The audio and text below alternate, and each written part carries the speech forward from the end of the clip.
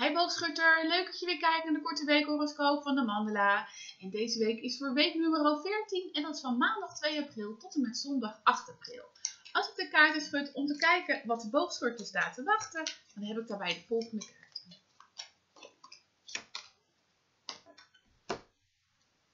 Pentakels koning, stavenkoning en de gematigdheid.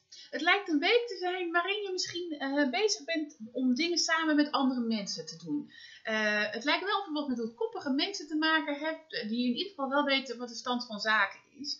Uh, je, je, lijkt wat advies te zoeken en zelf niet helemaal goed weten waar je heen moet. Maar juist omdat je dat advies zoekt, ga je er eigenlijk over nadenken en ga je zelf kijken wat jouw inbreng daarin kan zijn.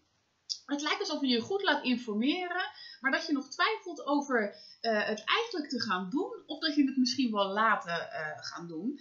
Uh, ik zou zeggen, neem daar gerust je tijd voor en neem inderdaad alles goed in afweging, afweging tegenover elkaar. Het lijkt alsof je aan het eind van de week in ieder geval een stuk meer weet dan het begin van de week. En ja, dat komt eigenlijk omdat je gewoon zelf de informatie aan het inwinnen bent. Ik hoor natuurlijk heel graag wat je met deze korte weekhoroscoop hebt gevonden. En zie je natuurlijk volgende week ook weer terug. Een berichtje kan hier altijd onder achter.